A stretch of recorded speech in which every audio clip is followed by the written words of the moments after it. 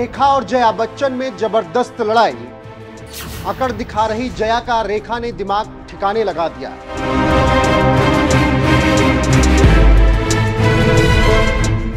नमस्कार, मैं हूँ आपके साथ रोहित और आप देख रहे हैं एनएफ न्यूज़। रेखा और जया बच्चन, ये वो दो नाम हैं जो फ़िल्मों की दुनिया पर राज कर चुके हैं। अपने वक्त की सबसे बड़ी स्टार रही है दोनों।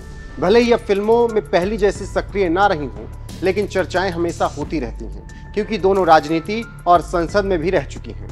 जया बच्चन जहाँ 2004 से अभी तक समाजवादी पार्टी से राज्यसभा सांसद हैं वहीं रेखा 2012 से 2018 तक राज्यसभा सांसद के लिए मनोनीत की जा चुकी हैं। जब रेखा पहली बार राज्यसभा पहुँची थी तब सदन में बैठी जया बच्चन उन्हें देखते ही असहज नज़र आई थी। An allegiance to the Constitution of India as by law established, that I will uphold the sovereignty and integrity of India, and that I will faithfully वहीं जया बच्चन इतने लंबे वक्त से राज्यसभा में होने के बावजूद इसलिए चर्चा में रहती हैं क्योंकि अक्सर वो किसी भी मुद्दे पर बहस करती हुई नज़र आ जाती हैं।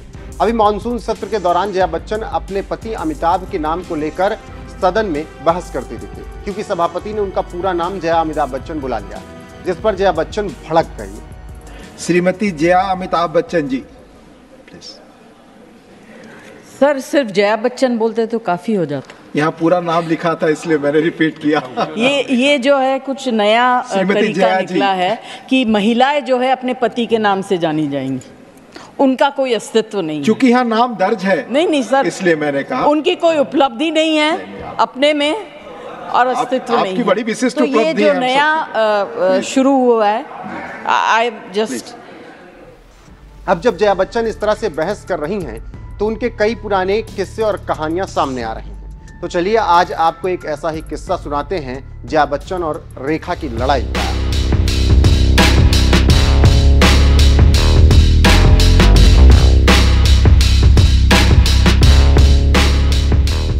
दुनिया जानती है कि बड़े पर्दे पर अमिताभ बच्चन और रेखा की जोड़ी हिट रही। दोनों ने साथ में कई बेहतरीन फ़िल्में की।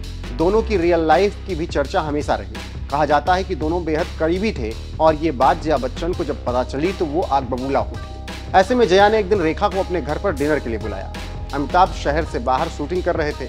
रेखा डिनर के लिए गई तो उनका स्वागत अच्छे से हुआ। रेखा को लगा सब ठीक ठाक है, कोई दिक्कत नहीं। लेकिन जब वो डिनर के बाद निकलने लगी तो जया बच्चन ने गुस्से में कहा, चाहे कुछ भी हो जाए, मैं अमित को कभी नहीं छोड़ूँगी। रेखा ये सुनकर तिलमिला गई। थी कहते हैं उन्होंने जया को करारा जवाब दिया था और दोनों में खूब बहसबाजी भी हुई थी। लेकिन रेखा इसी दिन समझ गई थी कि वो अमिताभ की कभी नहीं हो पाएँगे। इसके बाद अमिताभ और रेखा के बीच दूरियाँ भी आ गई।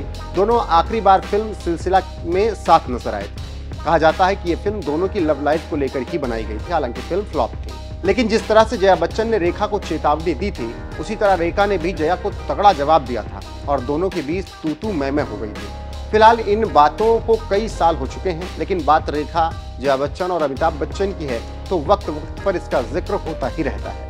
अभी जया बच्चन सदन में लगातार अमिताभ के नाम को लेकर सभापति से बहस कर रही हैं तो यह किस्सा फिर से जीवंत हो उठा है ऐसे में इस खबर पर आपकी क्या राय है कमेंट में ज़रूर बताएँ और सदन में जया बच्चन ने किस तरीके से बहस की है वो भी सुन लीजिए Honorable members, Jaya Amitabh Bachchan is the last speaker on this point. Please, ma'am. Sir मैं जया अमिताभ बच्चन ये बोलना चाहती हूँ मैं कलाकार हूँ बॉडी लैंग्वेज समझती हूँ एक्सप्रेशन समझती हूँ। और सर मुझे माफ़ करिएगा मगर आपका टोन जो है is not accept we are colleague sir you may be sitting on the chair. School Jaya ji.